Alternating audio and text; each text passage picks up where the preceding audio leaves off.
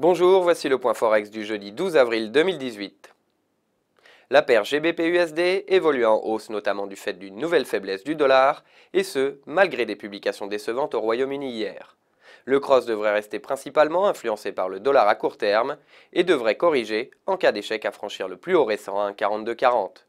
Ainsi, la paire de devises pourrait venir franchir le support situé à 1,4145 avant de tester à nouveau le seuil des 1,40.